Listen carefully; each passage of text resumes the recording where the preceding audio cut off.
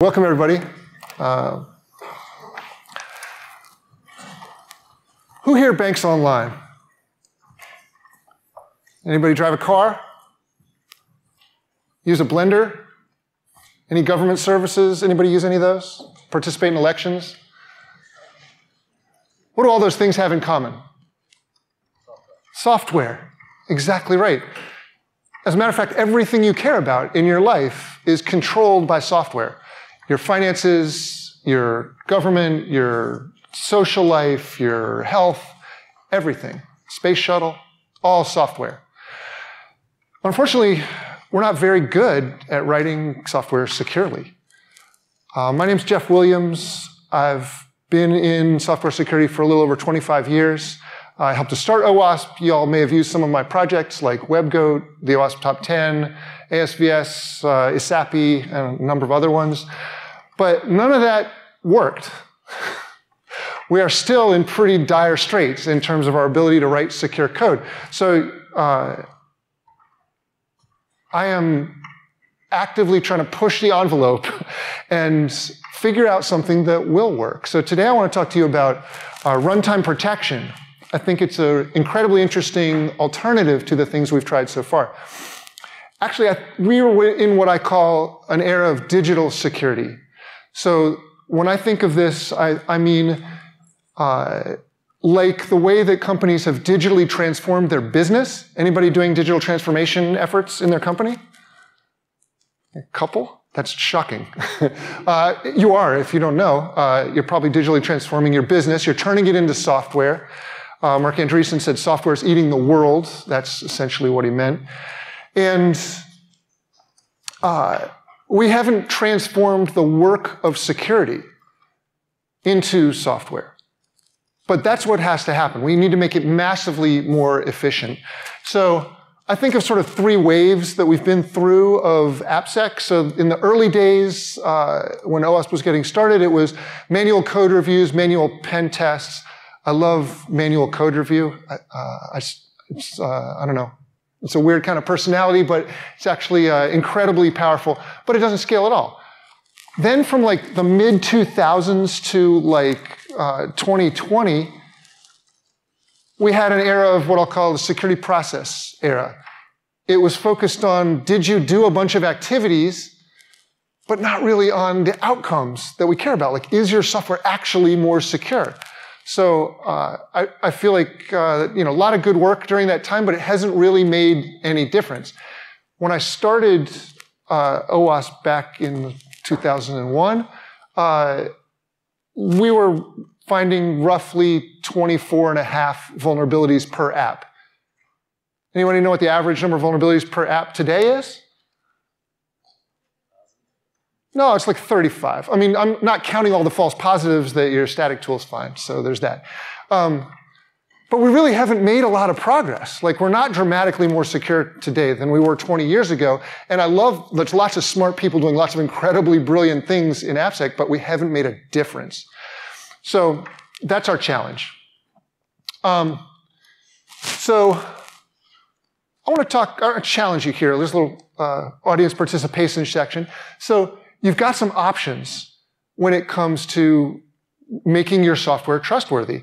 And I want to ask you, which of these techniques would you trust? Would you trust your business with? Would you trust your life with? Would you trust your social life to? Would you trust your healthcare to or your mom's healthcare?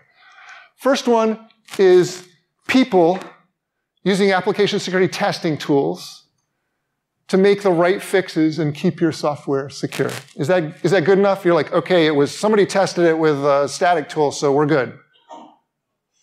Anybody think that's good enough? Uh, interactive testing is good, but it's not perfect. Like, I don't know. It's, I don't know. It's uh, a lot closer. But that's, I'm not here to talk about IAST, so I'd be happy to do that later. Um, so that's, that's one choice. The other choice that you have is using perimeter defenses to make your code safe. Anybody want to trust their healthcare to a, a WAF? Okay, I got a WAF vendor over here. Uh, also, probably not good enough. Why, you know, WAFs have a lot of issues. I'll, I'll talk about some of them in a little bit, but these are your two choices. You can either try to coerce the developers to do secure coding. And you can use whatever techniques you want. You can use AST tools, you can use policy, you can use training, you can use threat modeling or architecture reviews or whatever process you want to use to try to coerce the developers to do the right thing. I guarantee you I have tried them all. And I don't think they really, they're not really effective. The, the results prove that they're not effective.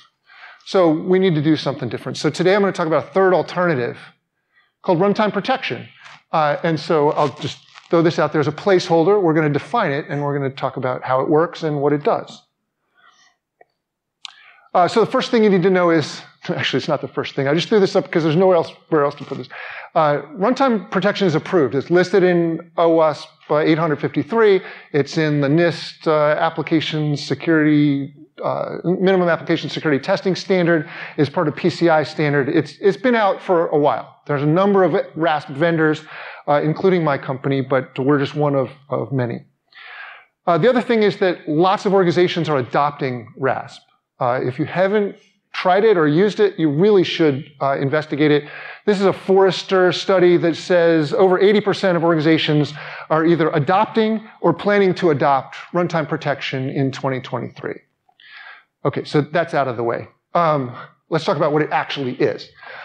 So, anybody know what ASLR and DEP are for? No? Yeah. What is what? That's exactly right. And why do we need to randomize our address spaces? Yeah. That's exactly right. Yeah, so when we, we do ex- exploit a buffer overflow, the exploit will have a, a, jump to some user control, but they won't know where to jump, right? So we randomize the addresses and they can't jump to their shellcode. Uh, DEP works similarly. DEP just defines some sections of memory and says this memory is not executable, right?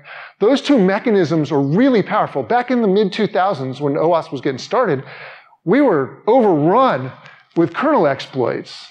Every week there was a new terrible flaw in some operating system. And it's not like we all of a sudden got better at programming in C and C++.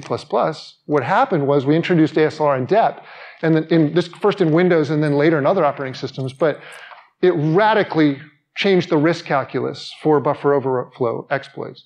Uh, made a huge difference. So the question is, can we do the same thing for web app and web API vulnerabilities like SQL injection and XXE and expression language injection and unsafe deserialization? How can we harden the stack so that those vulnerabilities, even if the developer makes a mistake, that vulnerability doesn't kill us? Seems like a reasonable third alternative, right? That's what runtime protection is all about. So let's talk about web apps and web APIs. So imagine this is your stack, right? You've got runtime platform, there's a bunch of libraries there, like your Java JRE or CLR. You got your app API server, which runs on that app uh, framework on top of that, more libraries. You got open source libraries that use more libraries and all their dependencies. Uh, and then at the top layer, you've got your custom code. As a side note, when you actually analyze this and look at what code actually runs, two thirds of the code that runs is your custom code. The other one third is the libraries. Almost all this library code doesn't ever run. It doesn't even ever load into memory. So I just want to try to get you focused on where the problems are. Um, so don't think that this is like an iceberg. People say 80% of your software, 90% of your software is open source. It's very misleading because the iceberg is upside down. Anyway, okay, back to the main story. Uh, this is your stack, and see those little skulls there? The skulls indicate dangerous code, some powerful function. Might be an XML parser or a SQL engine or a deserialization engine or, uh, I mean, any, any of the kinds of vulnerabilities that you think of, they're all run through these dangerous functions. Like maybe it's the, the way you start a native process in that framework. Those functions are all completely unprotected. Developers can use them however they want. There's no guardrails, no warnings, no developer documentation on how to use them safely. I spent many years on the Java servlet spec team trying to get them to add some warnings to the Java doc for you know the servlet spec and for the uh, you know the SQL spec and so on, just put a warning and say, don't pass untrusted data in here. No, they won't do it. So we're, we're kind of screwed, right? If there's documentation about this, it's at OWASP, where no developer's ever going to see it. It's not right in their IDE saying, hey, dude or lady, don't use this with unsafe data. So what can we do about that? Well, runtime protection can add trust boundaries to those dangerous functions. We're going to use a proven technology called instrumentation.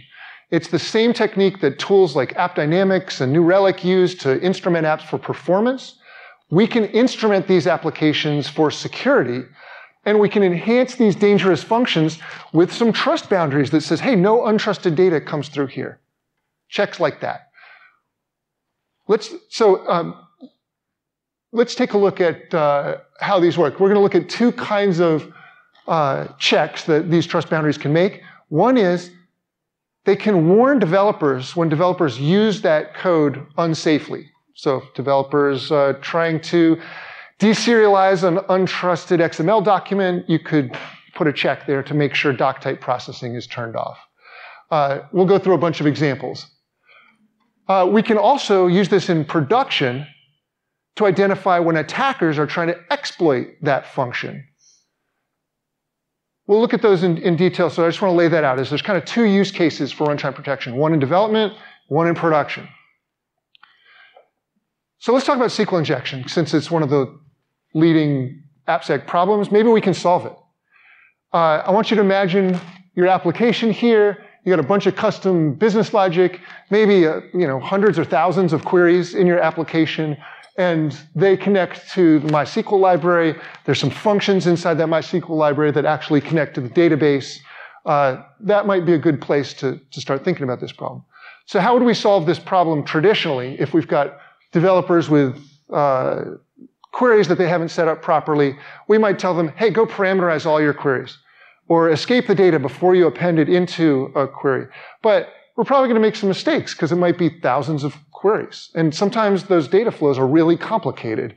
So it's not obvious that you're concatenating untrusted data into a query. If you're using an ORM, you might not even be close to the code where the query is actually getting generated.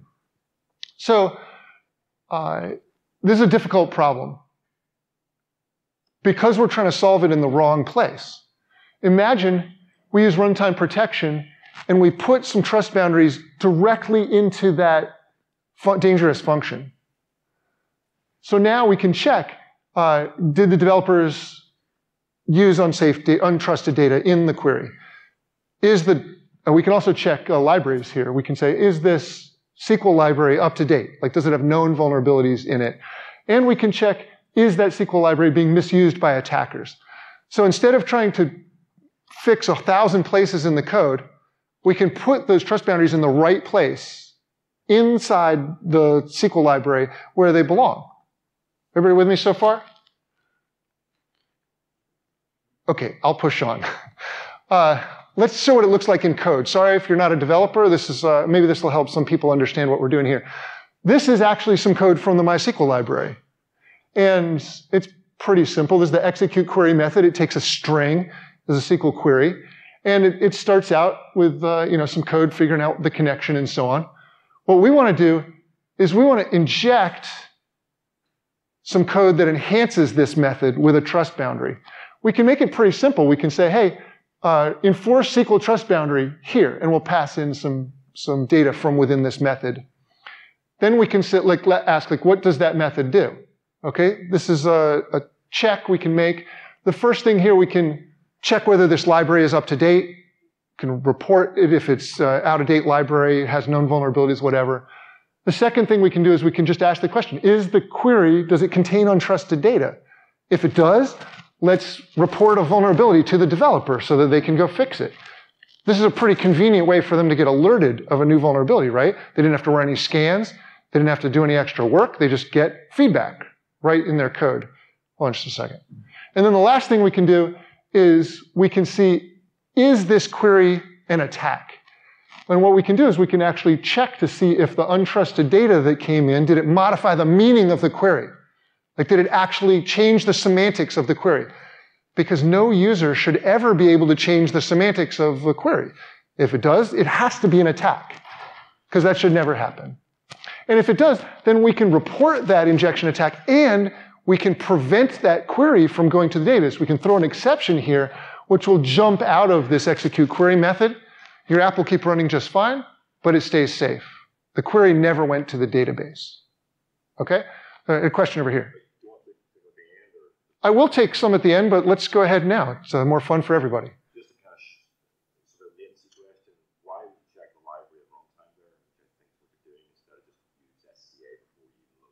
Yeah.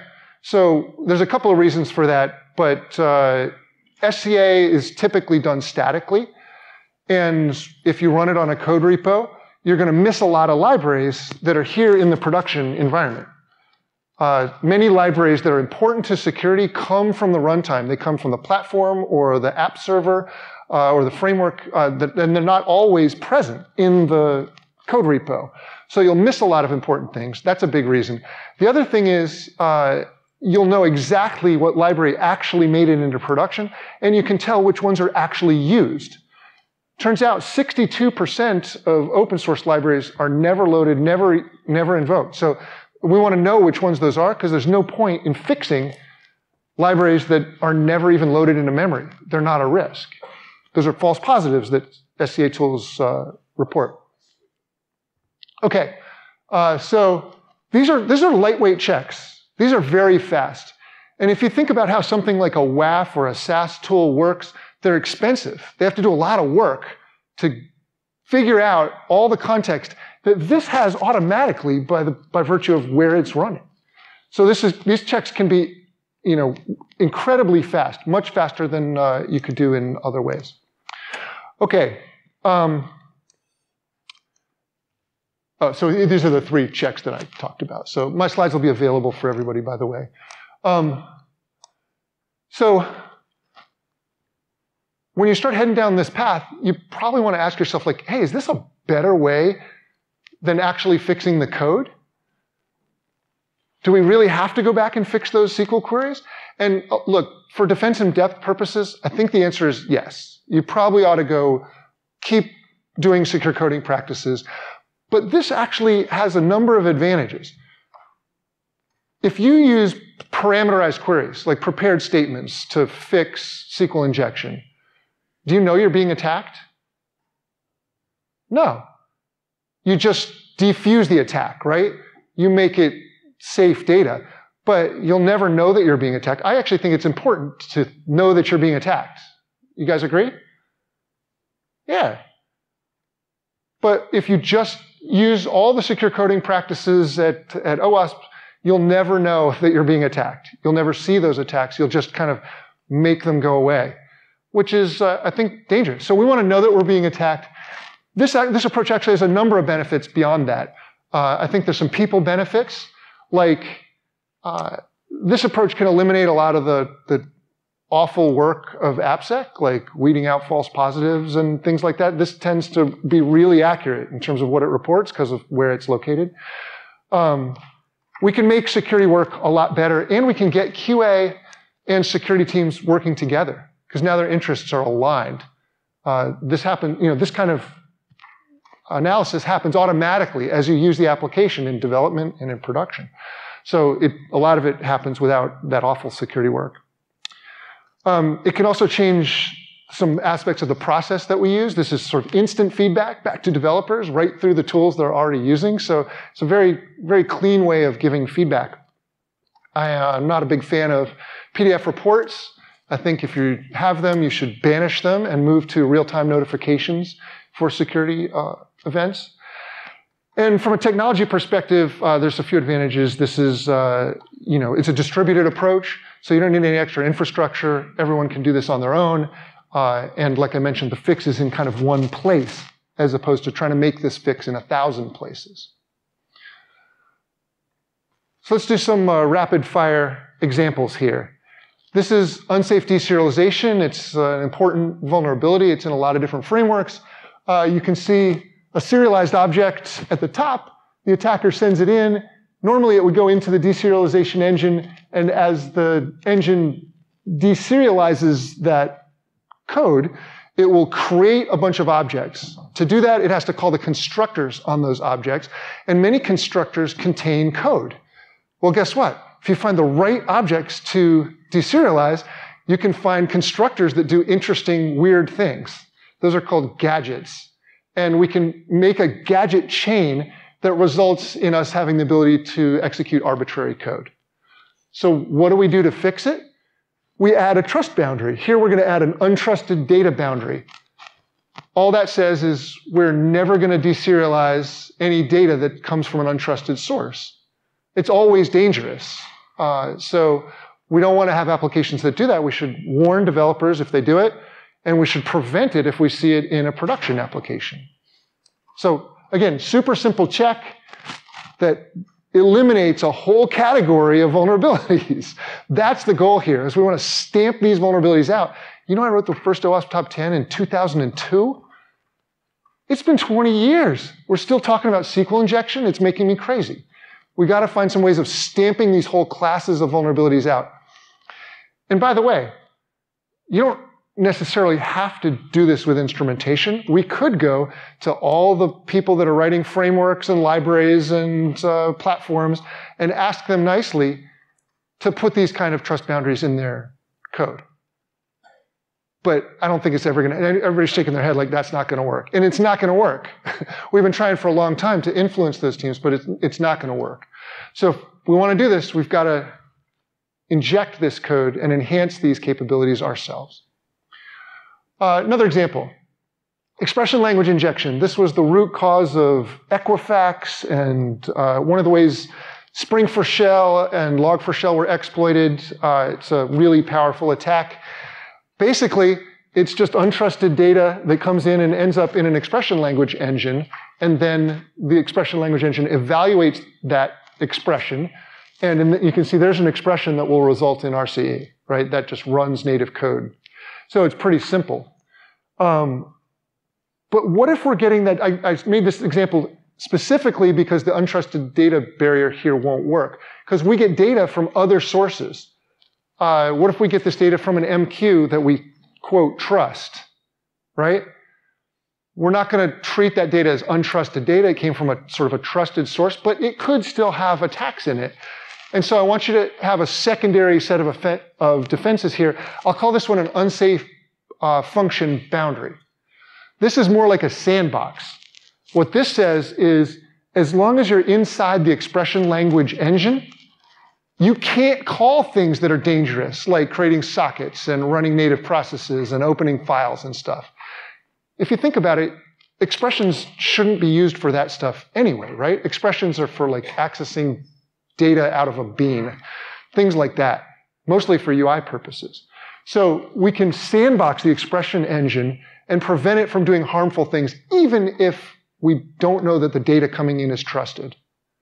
Okay, so we, now we've got kind of a, a roof and a floor on our dangerous functions so that we can both prevent bad stuff going in and we can prevent dangerous calls going out. Here's another example. Uh, I like this example a lot. So, anybody heard of XXE? XML uh, entity? Uh, so, here you can see a, a, untrusted XML document coming in, and you can see it's got a doc type header in it that defines its own entity named foo, or uh, sorry, it's named XXE, and that uh, directive tells it to translate it into the contents of the password file. Okay? Then in the XML document itself, the bottom line that says foo, xxe, foo, that when it's rendered by the XML parser, it will pull in the contents of the password file and include it in the XML document, and then it, you know, in most cases, you can figure out a way to get it back out of uh, the application to the user. So how do we solve it? Well, if we ask developers to do it, we got to tell them to figure out how to disable doc type processing with your particular XML parser. And there's like a zillion different configuration parameters in every different XML parser to do it, and it's complicated. Uh, so people mess it up a lot. But with runtime protection, we can do this automatically. we can just tell the parser, disable uh, doc type processing. And because we're inside the app, we know what parser it is. We can choose the right directive. We can disable doc type processing, and we're safe. Everybody see how that's going to completely protect me against XXE? Everybody, yeah. Right. But again, the path of, of us figuring something out and trying to coerce the developers into doing something in the code isn't working. At best, it's a super noisy path. I'll tell you, so when I was a consultant, uh, I did tons of pen tests and code reviews, wrote up lots of findings for developers, tried to be really specific about what they needed to do to fix the problem. 40% fail rate in making the fix that we told them to do. So on retest, 40% fail rate. And I'd be surprised if that changed. I think I'm pretty good at writing up findings, and telling them how to fix the problem, but it just, that channel is noisy. so I'm trying to suggest a better channel. Like, can we do this automatically? Can we digitally transform that process of changing the code to do what we want it to do? Uh, here's, I think this is my last example. Uh, this is an interesting one in, in Java. Uh, there's a, uh, if the application uses reflection to uh, load classes, you can trick that mechanism into loading arbitrary classes uh, and getting untrusted code to, to run. So uh, what we want to do is uh, prevent reflection from accessing uh, um, from being able to load code from, uh, from untrusted sources. So uh, only bad guys use reflection to access the class loader. There's no reason why a developer would ever have to do that because developers can just ask for the class loader. It's available in every single class. You can say get class dot get class loader everywhere you are. So there's no reason to use reflection to access the class loader. But it's something that attackers use all the time because the first step in their attack is to get a hold of the class loader and then use the class loader to load their malicious code. So what do we do?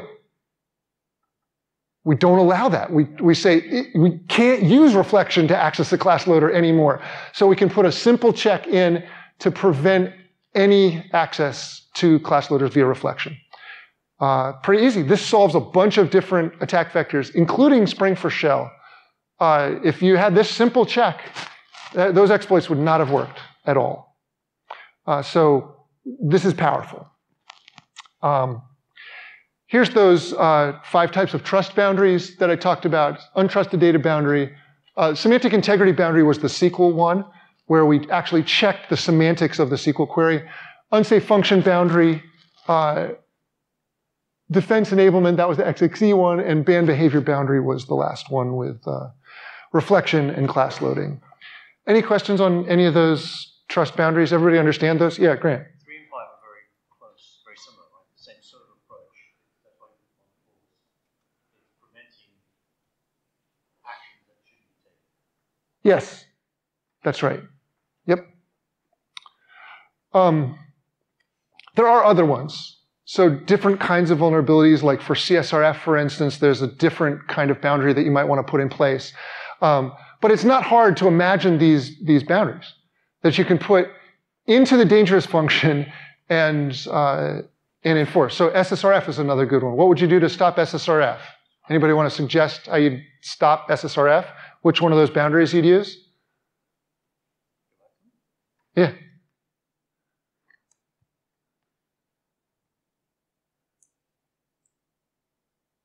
Well, first of all, where would you put it? If you wanted to put a trust boundary in place to prevent all SSRF, where would you put it? Yeah. In, yeah, you're right. It's one. That's the boundary that you'd use. And where would you put that boundary? Like, what dangerous function would you put it in?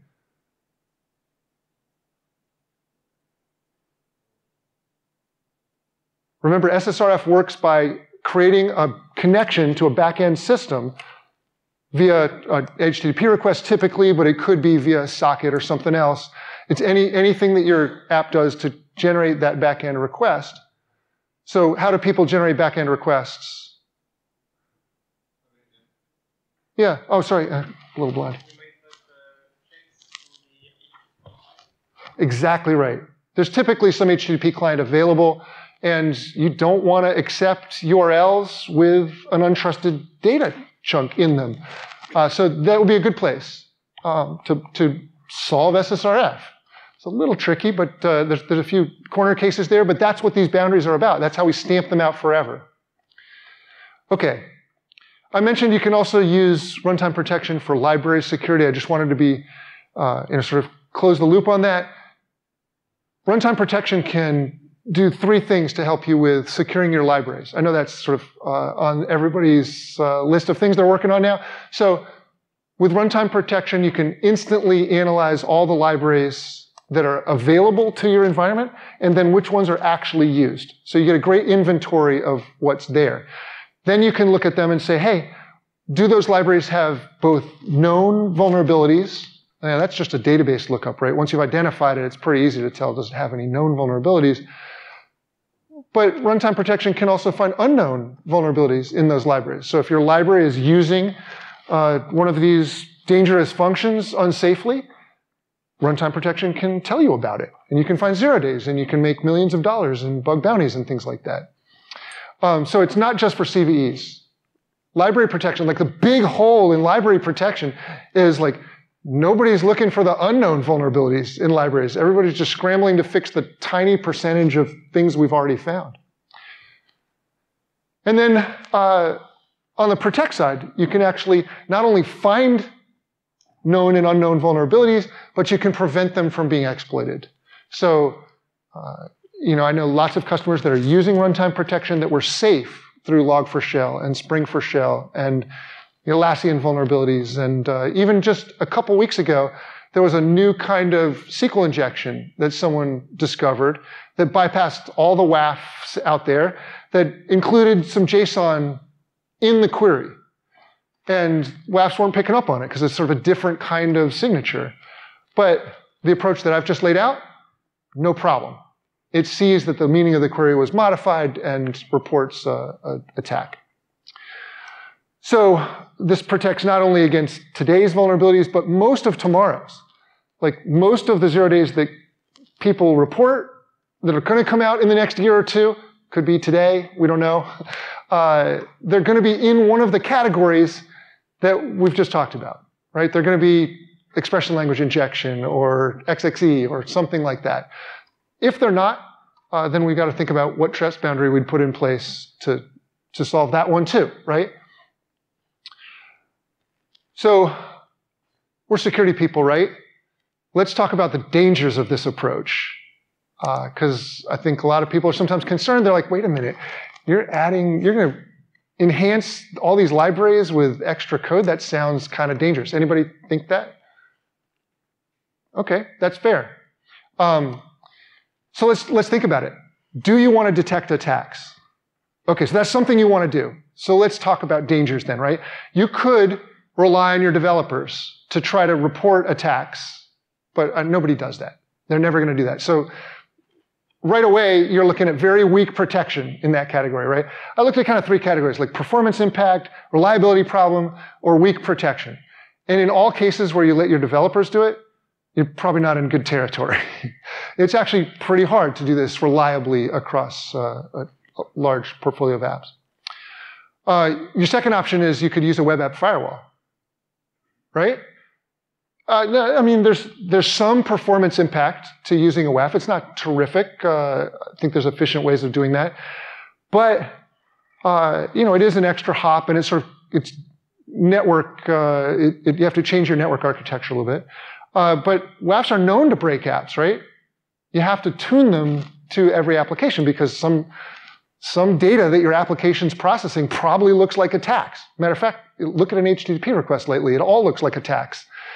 Um, so it ends up you need to tune it, uh, turn them off a, a, lot. And actually, that's probably maybe the, the most dangerous thing is people turn off WAFs all the time. They're just sitting there in monitor mode. They're not really doing anything. They're not often tailored, and uh, they're often bypassable.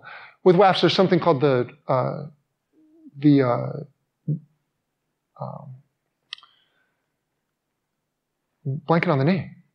It's the the data impedance problem. That's, that's right. Anyway, uh, sorry, sidetrack. Uh, but anyway, WAFs don't see the data the same way the application sees the data, right? Like the WAF's probably written in C, applications written in Java or .NET or Ruby or something, and it views the data differently. And so that creates a lot of corner cases uh, for bypasses. But think about runtime protection. We've gone through some of the advantages. It's a simple, testable check. You can deploy it uh, as part of your application. Even before production, you can put this into your, you know, into your development environments, have it go through all your test cases, make sure your application works with protection enabled. Uh, and uh, the protection that it provides is much stronger than you can get from these other techniques. So uh, my experience with runtime protection has been very good. There's, uh, I, will tell you, there's only one time that I know of that RASP broke an application, and it's when the application was sending full SQL queries from the client to the server. That was like how it worked. And RASP said, no, that's untrusted data that's going directly into the SQL query. We're going to block that. Um, but that was the way that app happened to work. It's SQL injection by design. So I'm not sure if that counts. But uh, I think by far the biggest risk here is not using runtime protection. If you're not using it at all, then you're likely pretty wide open to attack, and you probably have no idea that you're being attacked. And that's a dangerous place to be. That's where I don't want people to be.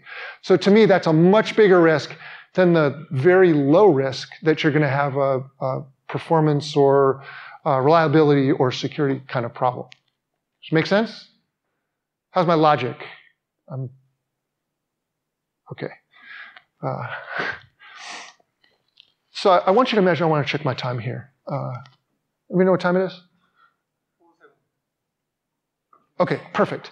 Okay, so I want you to imagine that you've in like uh, this is the scale challenge, right? So lots of the organizations I work for have hundreds or thousands of applications. So how are you going to protect them becomes a problem of how are you going to scale. And I want you to imagine that you make runtime protection part of your platform.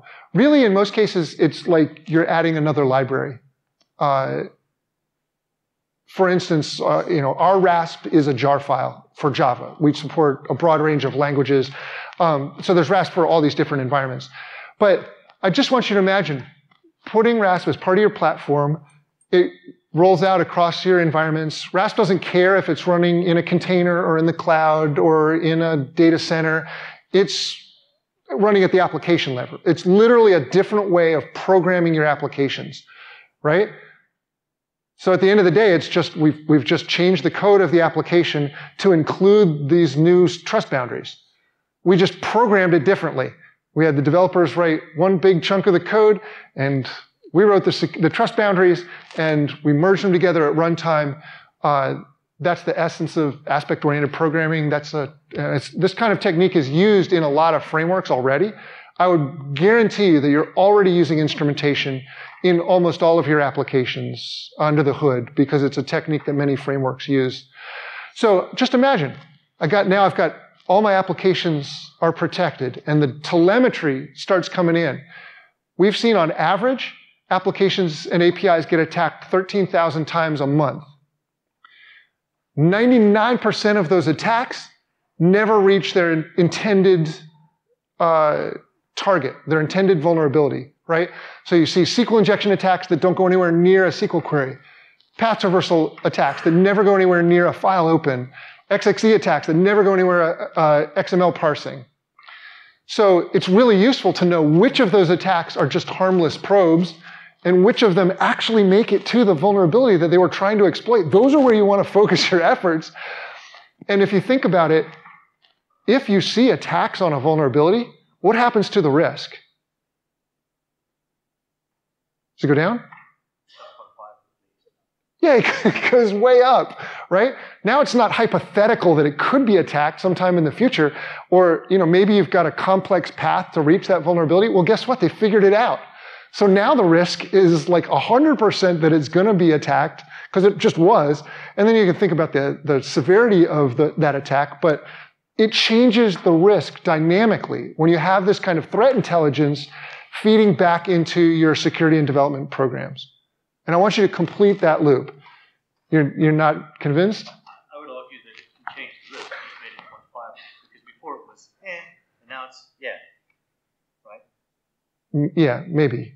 I mean, I think people would say, like, uh, you know, it's an XXE, it's uh, in an admin function or something, it's, it's hard to exploit. They would say the likelihood is low. But once you see it actually attacked, now the likelihood's high. So it's, it is about uncertainty when you get right down to it. Like a risk measurement with no data is like, oh, it's somewhere in this area. but once you start getting data, you can quantify it. That lets you prioritize and focus your program on the risks that matter.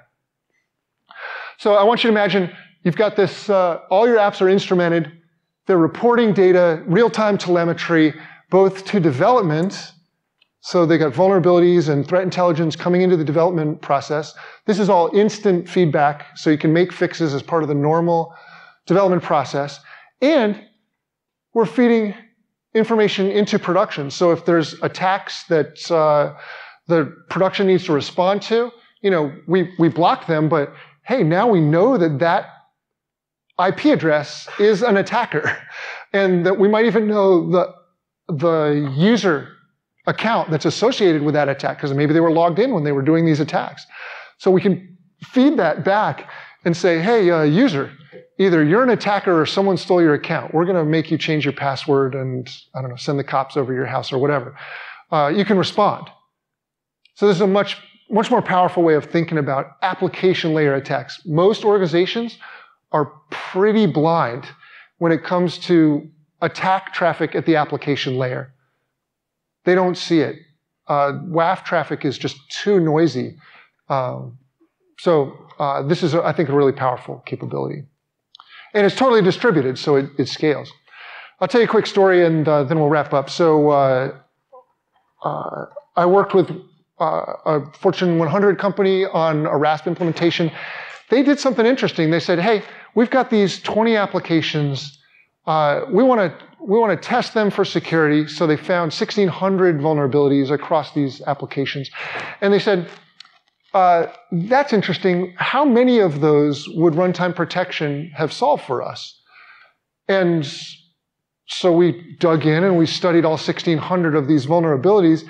And the answer we came up with was uh, 95% of them, leaving only 76 vulnerabilities that runtime protection wouldn't have protected them against being exploited for. That's really powerful. That means, I mean, imagine if you could take 95% of your vulnerability backlog off the table, or at least put it on the back burner, like lower the risk of it, uh, change the priority of it. That's fundamentally changing the dynamics of your AppSec program. So I think this is an important path forward, and they mandated, based on those results, they mandated runtime protection across all of their apps and APIs. Uh, personally, I wouldn't put anything on the internet that doesn't have runtime protection in it because I wouldn't have the visibility and I wouldn't have any protection. Uh, so I think it's the smart way forward. Uh, if you want to play around with RASP, I made an open source tool that will allow you to experiment with instrumentation on your own. Uh, it's called JOT, the Java Observability Toolkit. And it's designed to let you create your own instrumentation without having to write any code. So you can see this is a, what I call a JOT. It's a YAML file that defines where the sensors go, like what methods they go in, what scope they apply to. You'll have to read the docs about that. And then uh, what you want to do, either capture, which is like what information do I want to extract from that sensor, or what action do you want to take? Like, do you want to throw an exception uh, when that sensor fires? So this simple bit of code implements the trust boundary that we talked about for expression language injection. This says that while you're evaluating an expression, we won't allow any calls to create a socket or create a native process. So we created a sandbox around the expression language injection engine and made it safe. So again, this would have prevented a, a bunch of different attacks that have, have come out. Jot is really flexible. You can use Jot for monitoring just about anything that's going on in your Java application. Uh, any method you want to check out. It, uh, uh, there's a bunch of examples, and I've done some other talks on it. But if you want to know what encryption your application is using, uh, like a two-line Jot will just tell you all the sense, all the ciphers that you're using anywhere in your stack. Uh, you can figure out all the access control checks anywhere in your stack and create an access control matrix. There's a bunch of things you can do with Jot, but it's a way of playing around with runtime protection yourself. And I encourage you to experiment with it and let me know what you build with it, because uh, we can make it part of a community that, that focuses on this. Uh, any, any questions on Jot? It's super fun. I mean, I guarantee you, you have no idea how much MD5 is out there. It's stupefying. Uh, we'll never be rid of it. Okay, so let's go back to where I started. So, who wants to trust their uh, everything they care about in their life to getting developers to do the right thing? Who wants to trust everything in their life that's important to a perimeter protection? WAF guy, love him. Uh, and who would now consider using runtime protection to automatically warn about insecure code, analyze libraries, and detect and prevent exploits. Anybody? All right, let's look half the room. That's awesome. Uh, so with that, uh, I'll stop, and I'd love to answer any questions about this or anything related to application security. I'd, I'd love you to try to stump me. I'm going to come back to you in a second. Anybody else? Yeah.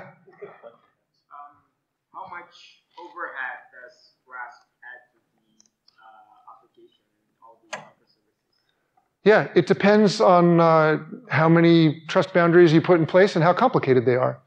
Uh, you can put in a bunch of trust boundaries that have almost no performance impact. As they get more complicated, uh, it can have more of a, an impact. Um, but certainly faster than a WAF, I think is a good way of thinking about it. Um, Do you have any data on that? oh yeah, but that's for my company's product, which is not, I mean, I'm talking about RASP in general here. There's a bunch of products in the market. Some are probably faster than others. Uh, I encourage you to test it. But I will say that uh, I think from you know a performance perspective, having your developers try to put this these kind of checks in, you'll end up with something that's dramatically slower. Uh, because they, they'll do things in naive ways, like they'll use regexes to check inputs uh, and they'll do redundant checks in multiple places and, and things like that. So uh, from a performance perspective, if you want to detect attacks, there's going to be some kind of penalty. The question is, which approach has the smallest penalty for the most benefit? Okay? Yeah, yeah. It's, it's sub millisecond, like, is a good rule of thumb. Yeah, I've seen some companies just dropping RASP because of the overhead. So that's why I wondered. But, that, but that's, a, that's probably because the benefits And, and again, uh, you know, look, there's, there's a lot of RASP products. If you use Jot, like that, that sensor I just put there is essentially free. You could, I mean, there's, there's no possibility that you'll ever be able to measure the impact of that sensor. It depends on what rules you put in place and which, uh, you know, which trust boundaries you're trying to enforce. Yeah. Yeah. I'll, I'll come around.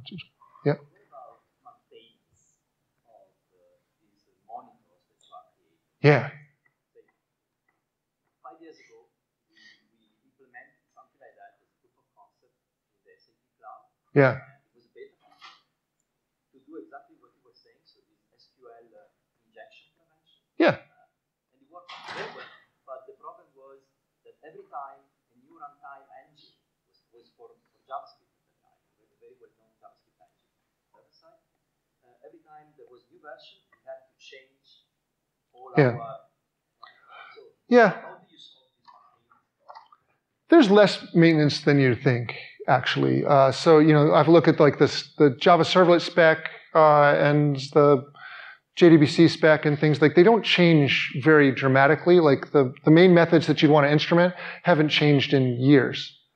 Um, so it, it is true that uh, they, they could change, um, but mostly these things get locked in. They're pretty low down in the stack, and so things get built on top of them and they depend on those APIs not changing. And so they don't tend to change very much. So I think the lower you go, the, the more stable those uh, kind of trust boundaries can be. The top of the stack is always like the, the Wild West, right? So that's what we're trying to do here, really. So we're trying to take things that work, that we've discovered in the top of the stack, push them down into a layer where we can enforce them consistently forever. There's a question here. Fast and audited uh, runtime checks are needed for sure, but uh, why would you insist on using instrumentation to inject them uh, at startup Yeah. rather than uh, writing uh, wrappers that do the checks and then using build system to enforce that this hardened wrapper is the only place that is allowed to directly call unsafe library function? Yeah, it's just uh, easier. Uh, writing wrappers isn't always convenient, uh, and you can't always get what you need from a wrapper because many times you need to access the inner state of the the library itself. Um, Is it this fragile if, if you try to access inner state of the library? Uh, I mean, it, it really depends. This is related to his question. Like that stuff doesn't change that much. Um, it's my experience. So, yeah. You could also, by the way, you don't have to write wrappers. You could actually uh, compile in these trust boundaries during the build process. You could transform the binary, and then they'd already be there when you pushed it to production. But what we found is that uh, it's easier to add uh, th- this instrumentation at runtime than to try to do it during the build process, because it com- it uh, adds complexity to the build. So, yeah.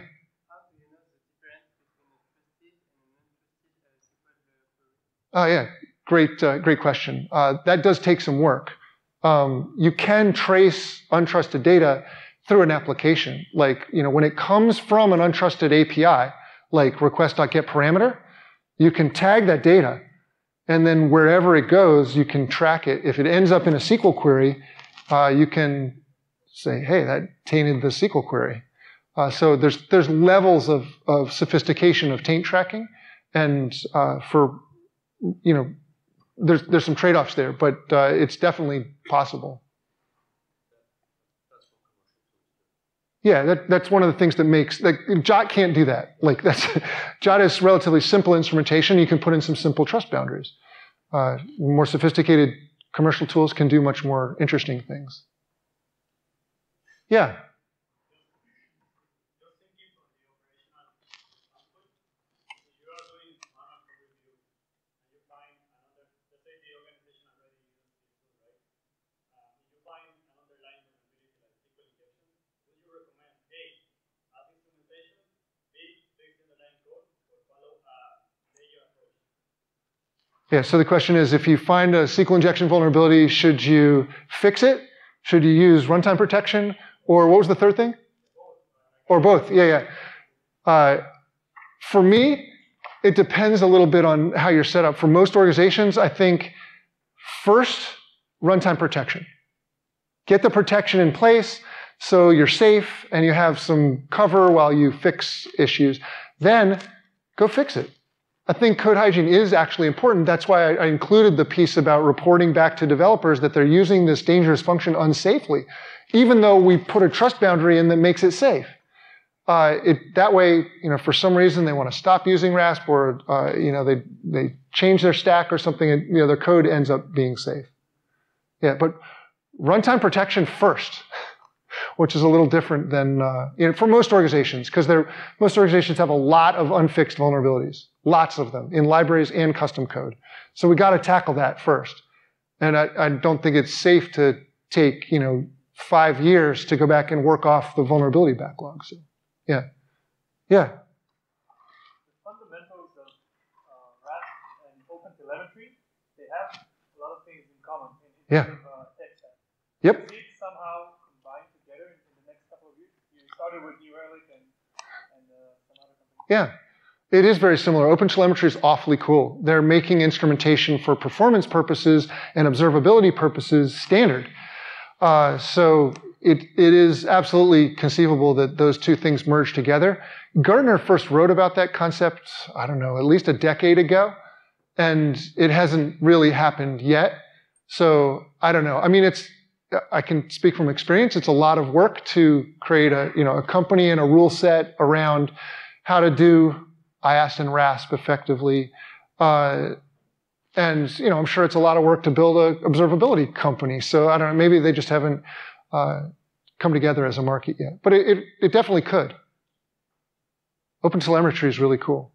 Yeah.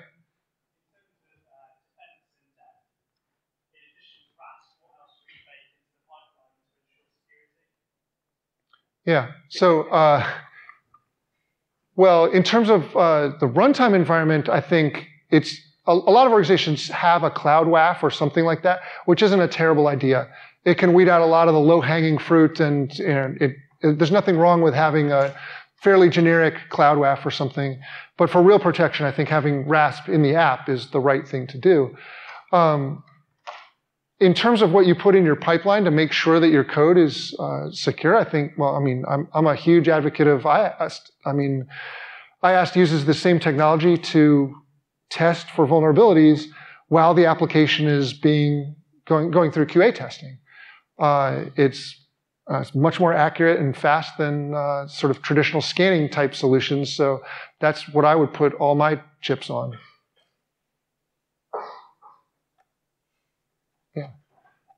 Any other questions? I don't know how we're doing on time. Uh, I was saying? Oh, yeah, sorry. Oh, and I am going to come back here. Okay, yeah, super.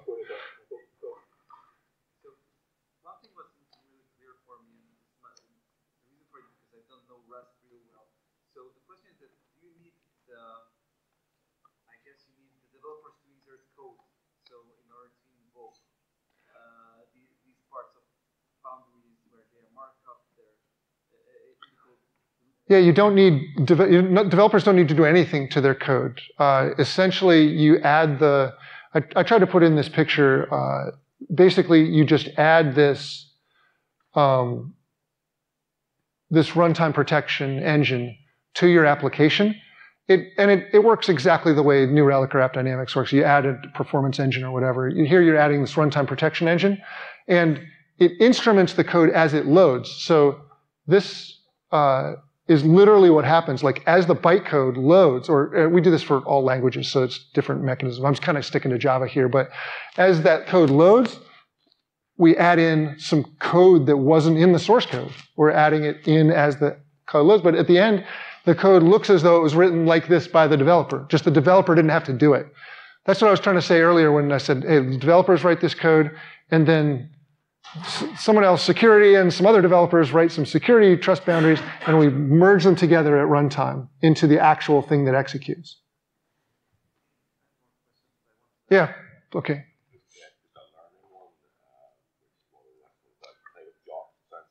Yeah. So yeah, yeah, how do we start to learn? Is it play with Jot, um, or should we use it? How do we learn? Yeah play with Jot. You can uh, so there's a free version of Contrast Community Edition that you can get an account on. You can add our agent to your applications and uh, test with Zap and see if you can attack your application. And uh, RASP will runtime protection will identify those attacks and prevent you from being exploited, even on a vulnerable app. Yeah, it's a good way to get started. And maybe a good way to stop because I think I'm at the end of my time. So. Yeah. Appreciate it, everybody. Thank you. Um, I'll be around uh, today and uh, tonight. We are having a, a, what do you call it? happy hour at Brewdog uh, at 6 o'clock. We'd love to have you join us. Thanks. Yep.